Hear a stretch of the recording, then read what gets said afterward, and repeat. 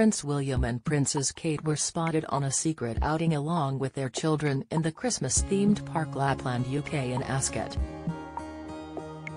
The family were seen leaving by a royal fan. They were accompanied by their nanny, Maria Teresa Turrion Borrallo, Hello reported. The attraction boasts a toy factory, magical forest and shops and has been a popular place for families to attend for the last 15 years. Princess Kate was in an all-black ensemble, with a belted coat, turtleneck jumper and matching bobble hat. Meanwhile, Prince William sported blue jeans, a padded jacket and a matching khaki flap cap.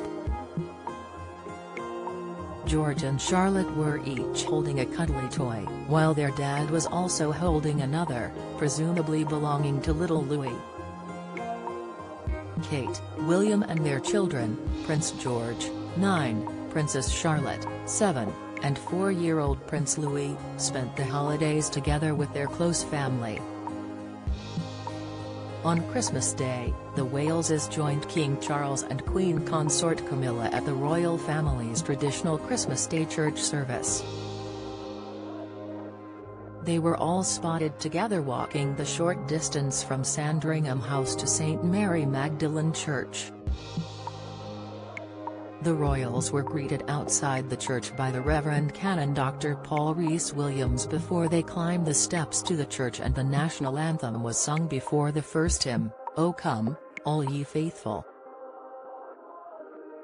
Members of the public who gathered outside the church listened to the service played over speakers.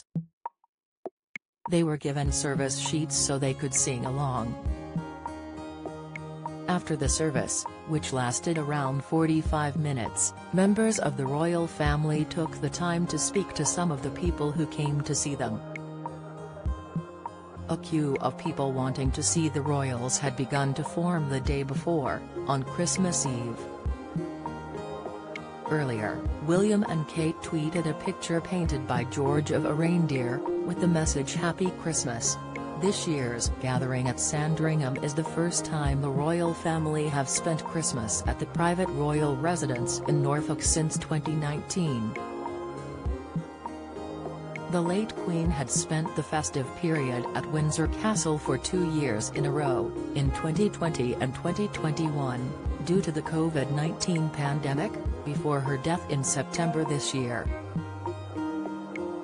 Traditionally, royal Christmases at Sandringham feature a turkey lunch at the house before the family settle down to watch TV, which this year included King Charles' first Christmas broadcast as monarch,